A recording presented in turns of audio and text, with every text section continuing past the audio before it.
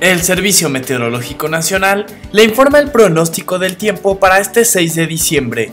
Para esta noche, el sistema frontal número 11, localizado desde el Golfo de México hasta el sur de Veracruz, mantendrá el ambiente de frío a muy frío durante la mañana y noche de gran parte del país, así como lluvias con intervalos de chubascos en Puebla, Oaxaca, Tabasco, Campeche, Yucatán y Quintana Roo.